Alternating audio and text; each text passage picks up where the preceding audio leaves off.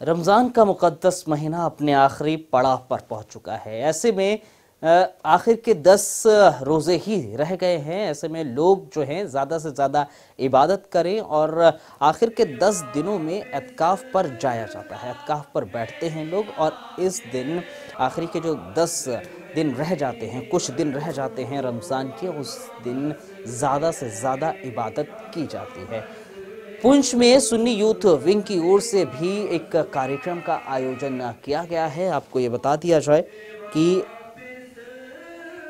سنی youth wing پنچ کی مسجد میں یوواؤں کو اسلامک شکشا دی جا رہی ہے۔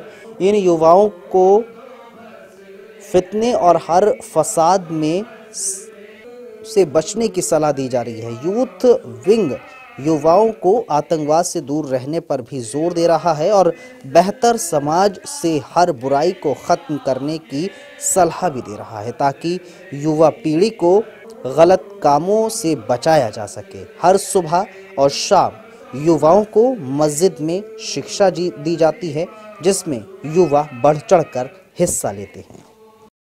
آپ یہ ہمارا جو سنی یوسف ان کی طرف سے اعتکاف تھا، اس کے بارے میں کیا کہنا چاہیں؟